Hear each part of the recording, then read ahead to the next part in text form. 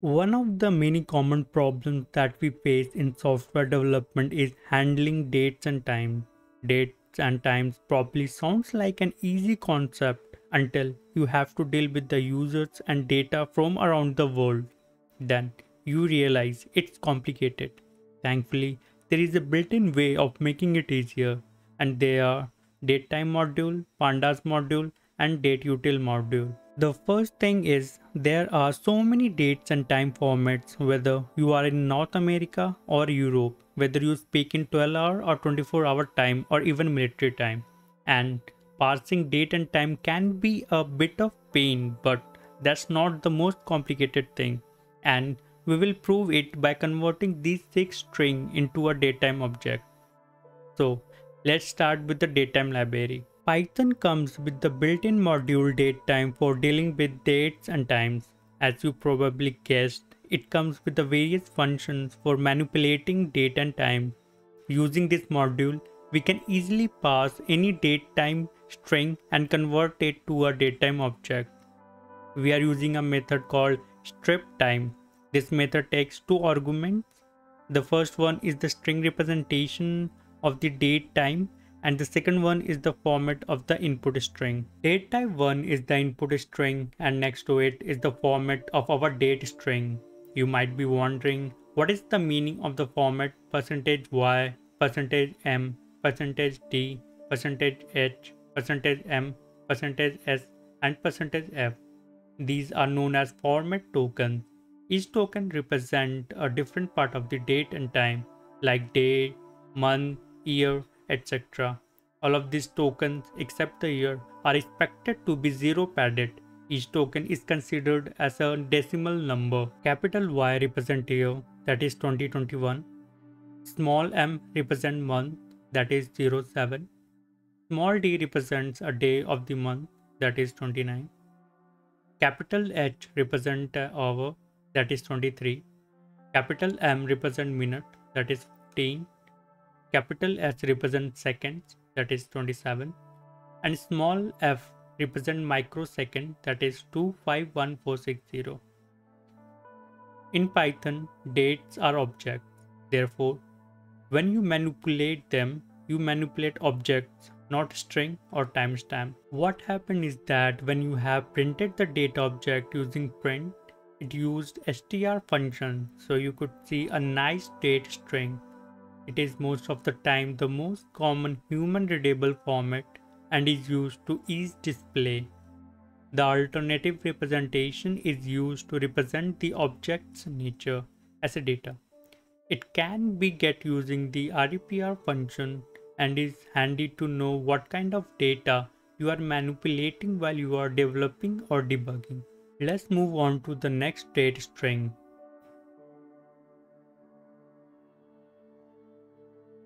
Small b represents the short name of the month that is AUG, August.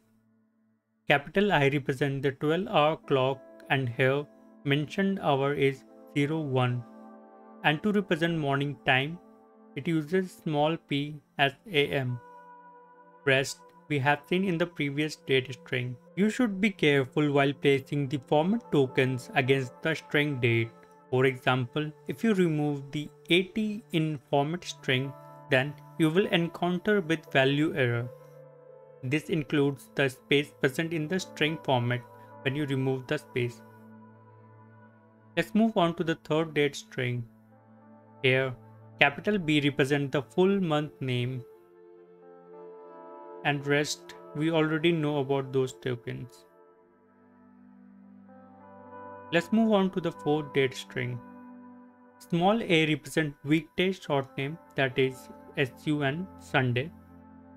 Small y represent the year that is 21 and 4 digit year would be 2021. Rest we already know about those tokens. Also strptime can convert any date string where date and time are separated by a space, backslash or comma. Here date is separated by a backslash and the date and time are separated by the comma. Let's move on to the fifth date string. Small z represent a UTC offset, short form of Universal Time Coordinated.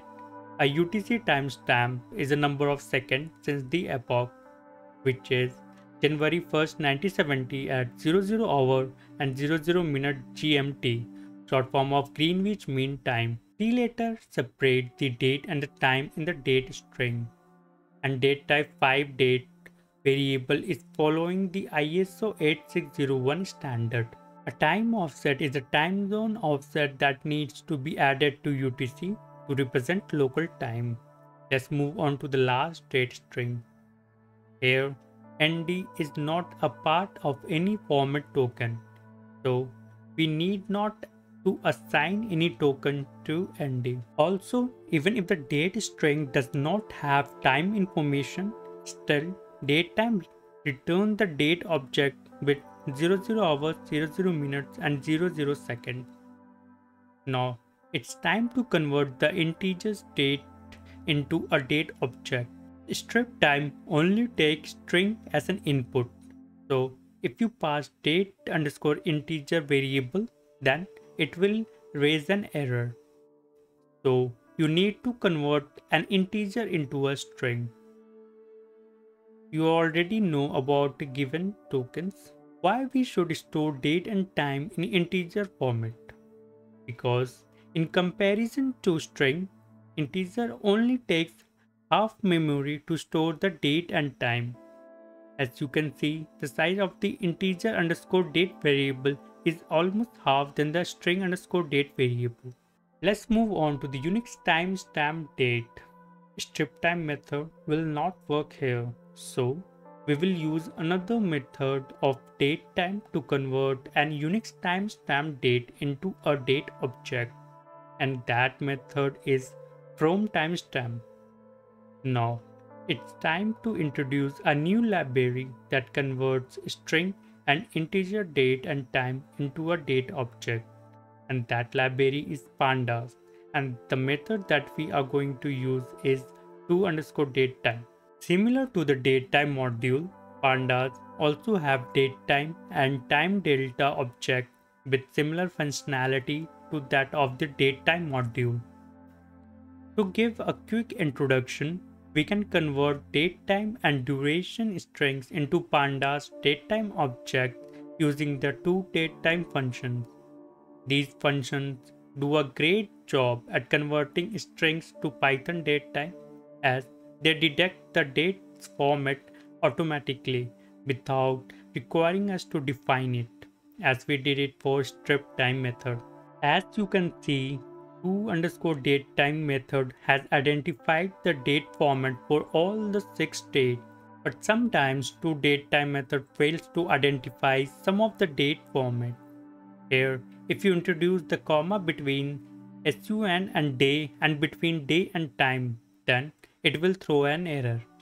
In such cases, it also has the option to define the format of dates similar to the datetime module as you can see here. Let's move on to the next part. ToDateTime method takes an integer as an input but generally fails to identify the format. Hence, you have to give the format information to the format argument against the integer date as it requires a format argument for the date underscore integer 1 variable. To convert Unix timestamp format datetime, you need to use origin and unit arguments. Our next library is dateutil. The dateutil module is an extension to the datetime module. One advantage is that we don't need to pass any passing code to pass a string, same as pandas. This pass function will pass the string automatically and store it in the datetime variable. Parsing is done automatically. You don't have to mention any format string. Let's try to pass different types of string using dateutil. Dateutil library does not support integer date type. Also, it's hard to define the format of dates if it is doesn't recognize any date format.